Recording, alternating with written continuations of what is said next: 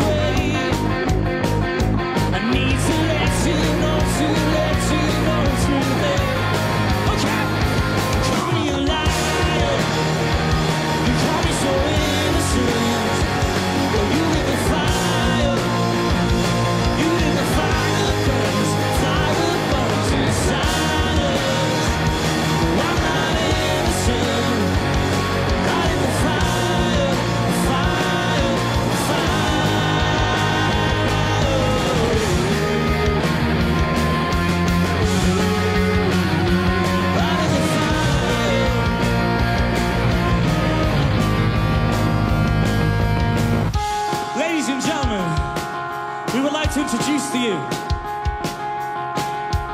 Alex from Two Door Cinema Club.